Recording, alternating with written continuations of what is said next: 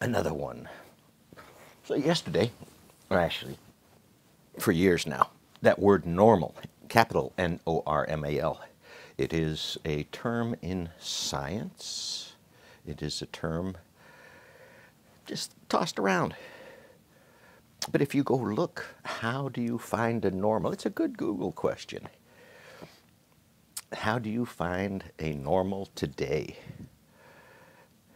But use the word normal and add a qualifier on, or precede it with a qualifier, a few different ways, and you'll learn how many normals you and me invented. This is our shit. We did this, even if we don't know about it.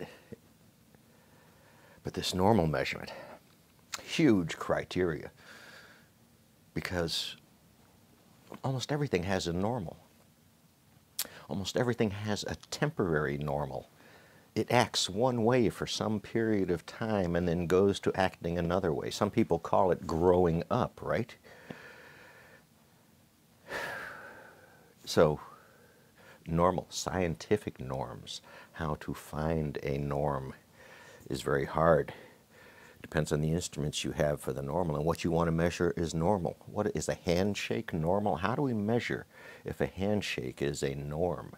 That would be a societal norm. It might be hard to uh, reconcile. Where do you do the handshake measurements at? Are there places people are more likely to handshake than not? So this idea of normal keeps getting shifted in our American culture and society. It keeps getting pushes to go in different directions. So it's up to the normal people to push their normal on other normals so that we can all be normal. Holy fuck, that sounds stupid. It sounds boring as shit. But humans aren't that way. You really need to get over your own selves, I suppose.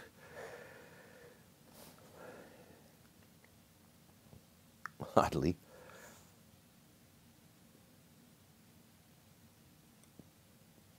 Republicans lost.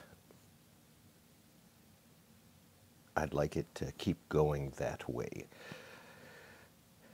Let's call it cancel the motherfucker culture.